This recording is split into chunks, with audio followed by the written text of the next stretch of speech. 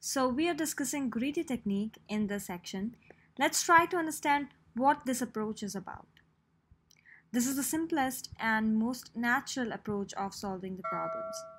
Believe me, you will find it very very natural to think about and our brain most of the time uses this approach to solve the problem at first place. Very very natural way of thinking. Formally, a greedy algorithm as the name suggests always makes the choice that seems to be the best at that moment. This means that it makes a locally optimal choice in the hope that this choice will lead to globally optimal solution. If I give you a few things to, to choose from a bag with price tags but absolutely free for you, what will you do? You might become greedy and choose the items with highest prices, right? But what about if I ask you to choose few items within a maximum capacity? You can start choosing the highest tag item first as the human nature of being greedy. Here comes the optimality problem. How do you decide which choice is optimal? So let's define this formally again.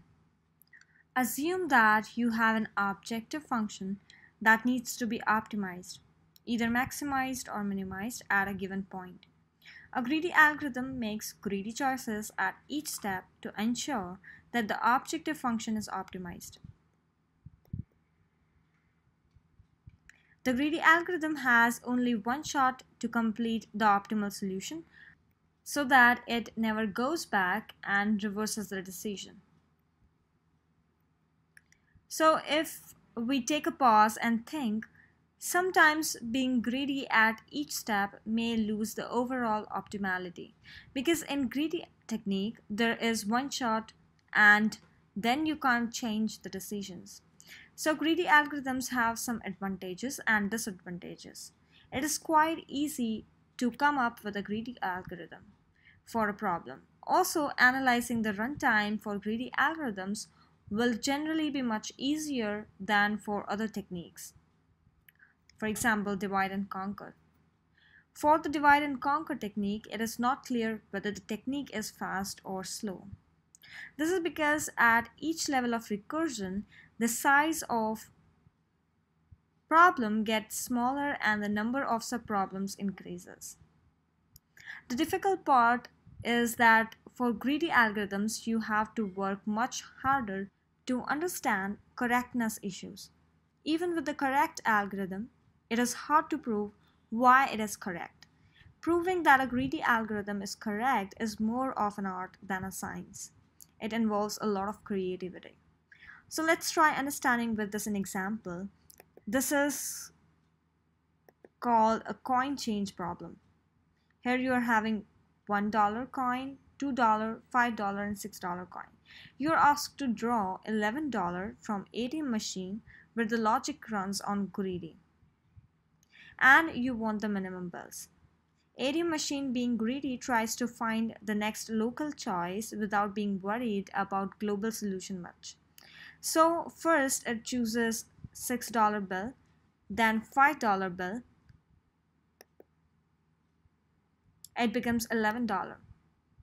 So the greedy approach works fine here. But what if the ATM machine is asked to withdraw $10? It first chooses $6. Now for next local choice, it can't choose $5 because it will exceed the requirement of $10. So it will go for $2 and $2 again. Whoops, this is not the optimal solution.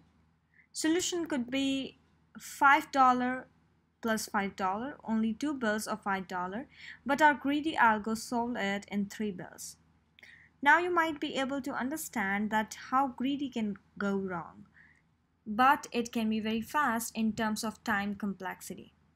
Now to extend our discussion further, if we apply greedy, there are some problems.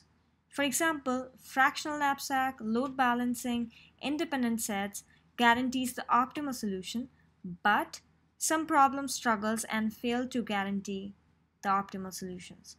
For example, these are 01 knapsack and coin change problem. However, coin change depends upon input currencies, but greedy cannot cover all the cases there. So hope you might got a decent idea about greedy approach. Let's discuss identifying and approaching the solution using greedy in upcoming lectures.